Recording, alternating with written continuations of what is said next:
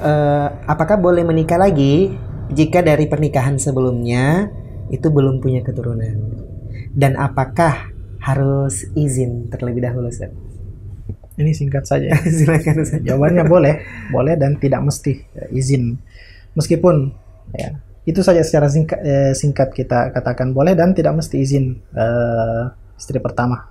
Akan tetapi ini kan menjadi polemik terutama di negara kita yang mensyaratkan hal tersebut. Artinya, ketika kita mengambil langkah tersebut, kita siap dengan konsekuensi baik dari eh, pihak keluarga maupun eh, hukum yang berlaku. Ya, kalau tidak salah eh, hukum kita, ya, hukum eh, di negara kita boleh boleh saja seorang menikah lagi dengan persetujuan istri pertama. Nah kalau tanpa izin otomatis melanggar hukum. Dan nanti kalau ketahuan boleh jadi keadaannya seperti penanya tadi yang mungkin dituduh selingkuh dan seterusnya padahal dia telah melakukan hal yang dibolehkan sebenarnya sesuai sesuai syariat.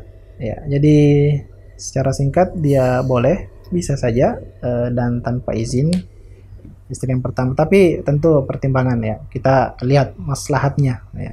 Ketika memutuskan satu kebijakan dalam hidup kita, kita lihat yang mana eh, lebih maslahat untuk kita orang lain, keluarga secara khusus juga dan orang-orang di sekitar kita.